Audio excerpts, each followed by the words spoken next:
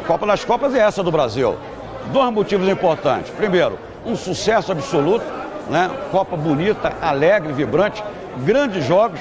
Então tem um elemento central que é ir a forra da, da Copa de 50, que magoa toda uma geração, meus pais, meus avós, e nessa Copa está tendo um sucesso em função dos grandes times sul-americanos. Essa é a Copa do Mundo, está mais para uma Copa América e é importante para o nosso povo.